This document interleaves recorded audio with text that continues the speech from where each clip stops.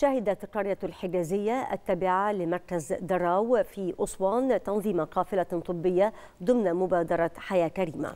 تشتمل القافلة على ثمانية تخصصات طبية وتم توقيع الكشف الطبي على المترددين وصرف العلاج بالمجان وتحويل عدد من الحالات للمستشفيات التابعة لمديرية الصحة.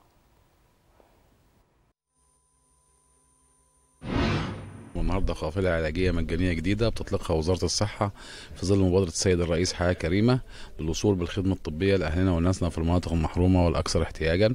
إحنا بننفذ القافله الطبية النهارده وبكرة إن شاء الله في قرية الحجازية التابعة لمركز دراو غرب النيل.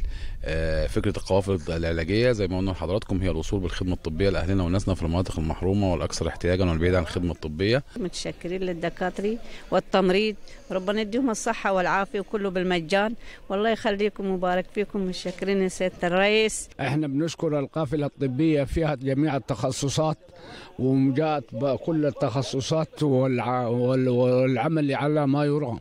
الناس مستمرة وبنشكر السيد رئيس الجمهورية على هذا الدعم.